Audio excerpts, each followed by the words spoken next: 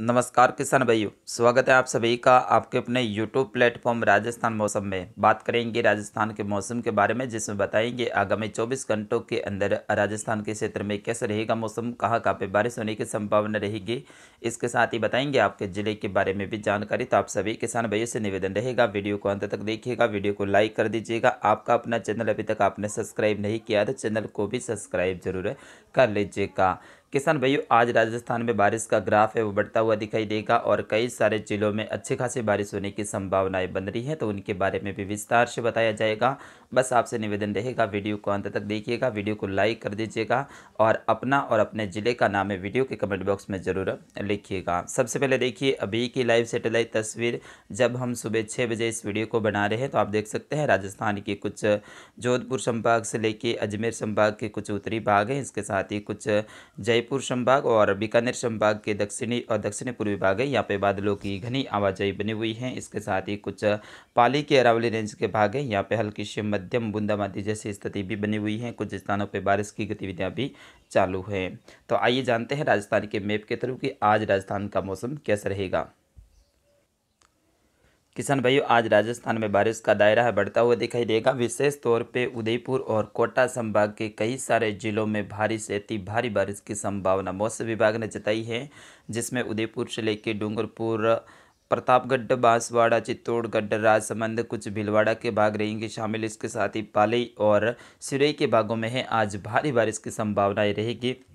कुछ स्थानों पर भारी से अति भारी बारिश जैसी गतिविधियाँ भी आज देखने को मिलने वाली हैं, जिसमें विशेष तौर पर उदयपुर और प्रतापगढ़ में।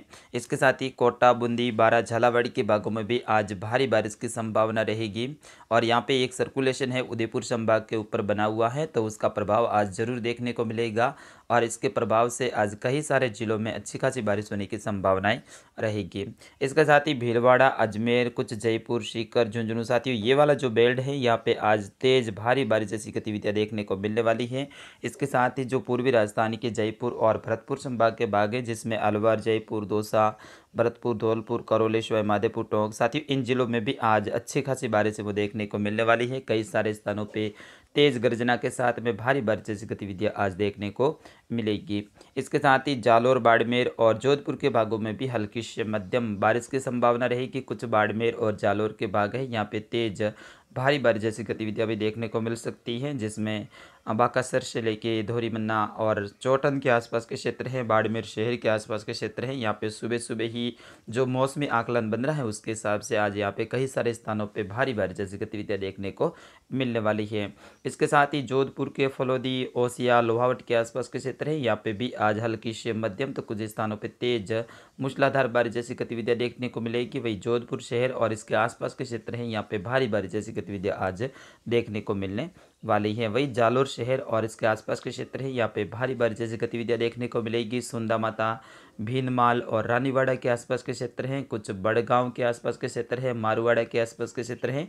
यहाँ पे आज भारी बारिश जैसी गतिविधियाँ जालौर में देखने को मिलने वाली है। वही साचोर, चितलवाना, बागोड़ा और शायला के आसपास के क्षेत्रों में भी हल्की से मध्यम बारिश का दौर देखने को मिलेगा। अभी सुबह सुबह गर्मी बहुत ज़्यादा रहेगी जैसे जैसे दिन आगे बढ़ेगा वैसे वैसे उमस बढ़ती जाएगी और फिर उसके बाद में बूंदाबांदी का दौर है, वो आज जालौर में चालू होने की संभावनाएँ बन रही हैं। सुबह के दस ग्यारह बजे से वही बात करते हैं सिरोई की तो सिरोई के भी लगभग समस्त भागों पे आज तेज़ मूसलाधार बारिश की संभावना रहेगी। वही पश्चिमी राजस्थान के सबसे बड़े बाँध जवाई बाँध में भी आज भारी जल आवक की संभावनाएँ बन रही हैं। वैसे कल भी यहाँ पे जवाई बाँध के जो आसपास के एरिए हैं, यहाँ पे अच्छी खासी बारिश देखने को मिली थी तो कल से ही जवाई बाँध की जल आवक में है और ज़्यादा बढ़ोतरी देखने को मिल रही है और आज भी यहाँ पे भारी जल आवक जैसी स्थिति बनी रहेगी।